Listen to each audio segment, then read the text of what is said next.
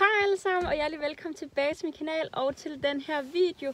Jeg har virkelig ikke været særlig god til at få lavet videoer til, efter at jeg er flyttet øhm, til København og startet på studie. Men i dag der skal mig og Nika altså i dyrehaven for første gang, så det bliver mega spændende. Øhm, og jeg tænkte derfor, at jeg vil lave en lille vlog til jer. Øhm, jeg har ikke selv været i dyrehaven før, kun én gang, hvor jeg var ude på tur, men jeg har ikke prøvet at være det med hest, og det er også Nikas første gang, så jeg håber, at det kommer til at være hyggeligt, og det går godt. Øhm, vejret er sådan okay, solen har lige skinnet helt vildt meget, men nu er det selvfølgelig overskud.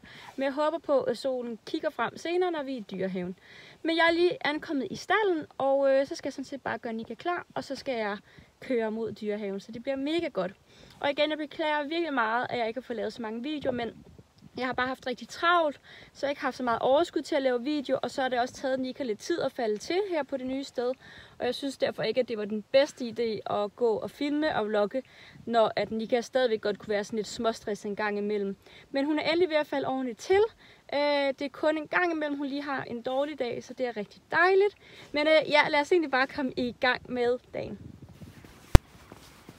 Hej Nika Bika. Så skal jeg ud for at hente Nika på forlanden. Og øh, så skal jeg bare egentlig ind og gøre hende klar. Vi er rykket til København i november, det ved jeg ikke, om jeg har fået snakket så meget om på min kanal her. Men i november, der rykkede jeg selv til Amager, og øh, Nika kom nordvest fra København på et opstillingssted, hvor vi står nu. Øhm, og i midten af december, der rykkede jeg så til Sydhavnen. Så nu er vi begge to blevet københavner, eller næsten, Nika er næsten i hvert fald. Øhm, så det er meget dejligt. Og øh, ja, så nu skal jeg sådan set bare trække hende ind. Så vi er flyttet, øh, og det er jo på grund af, at jeg startede på universitetet, at øh, jeg hellere måtte komme herind, og jeg skulle selvfølgelig have Nika med. Kom Nika Pika. Skal du med ind? Vi vil have lidt mad. Hov, jeg har faktisk gulerødder til dig. Uh. Uh. Værsgo. Skal du sige hej til din ven? Vil han sige hej til dig? Nå. Vi I lige sige hej? Ja, nu kommer han, Nika.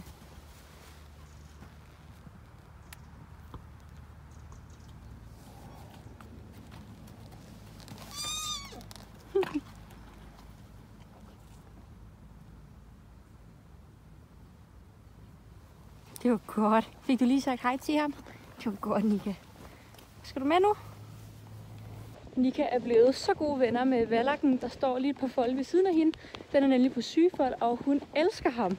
Så de får altid lige lov til at hilse lidt på hinanden, enten inde ved boksene, eller herude på folden, når vi går frem og tilbage. Så det er meget hyggeligt.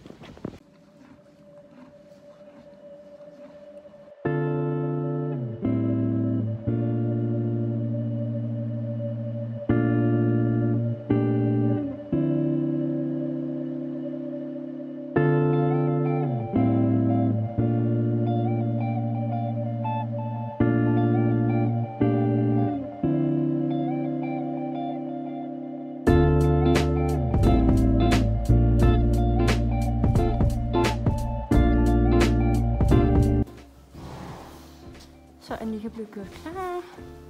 Har fået gamasjer, og indunder der har hun lige sin sadel på. Ikke Nika? Så.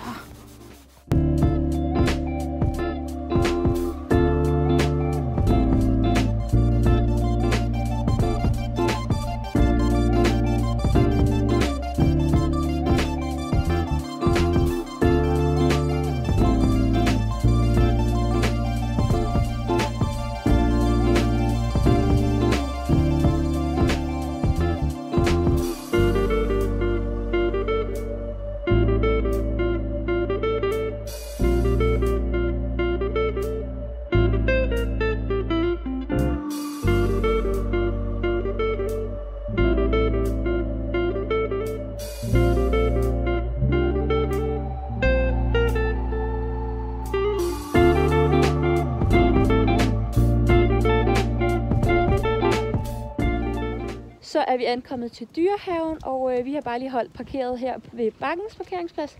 Og Nika står inde i traileren og skal bare lige hurtigt hovedtøj på, og så kan jeg hoppe op. Hallo Nika. Hej. Uh, hendes hjerte banker. Og det er nok meget godt at tage et lille pause, hvor man lige kan stå og kigge lidt.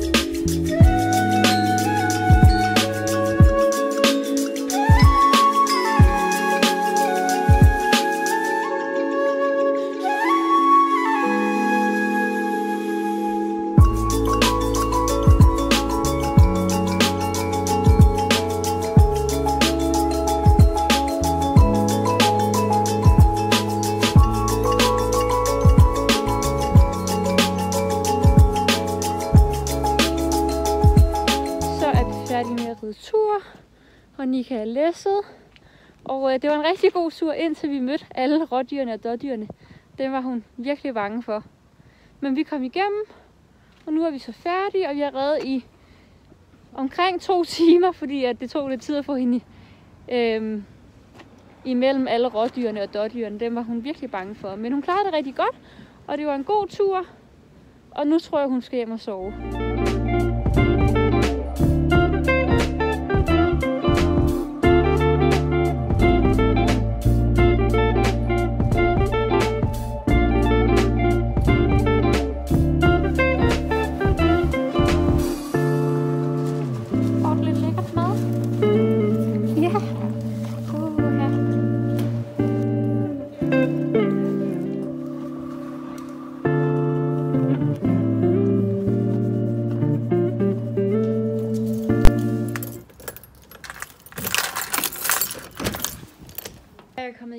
Lejlighed, og jeg er seriøst så træt. Det er så hårdt at være ude i kulden i så mange timer. Men Nika klarede det rigtig godt, og det var en rigtig god tur, synes jeg. Udover at vi nåede til rådyrene, det synes hun var lidt for farligt. Men vi kom igennem, og nu er vi blevet det stærkere, og hun har lært det mere. Så alt i alt var det faktisk en rigtig god tur, og øhm, så det var super dejligt. Så nu skal jeg sådan set bare lave mad i bad, have et meget langt varmt bad. Og så tror jeg bare, at jeg skal ligge og se fjernsyn resten af aftenen, for jeg er virkelig, virkelig træt. Men tusind tak, fordi I så med i den her meget ventede vlog, føler jeg. Og øh, så håber jeg bare, at vi ses næste gang. Jeg skal nok prøve at se, om jeg ikke kan være bedre og lidt mere flittig med at lave videoer til dig. Men i hvert fald, så ses vi. Hej hej!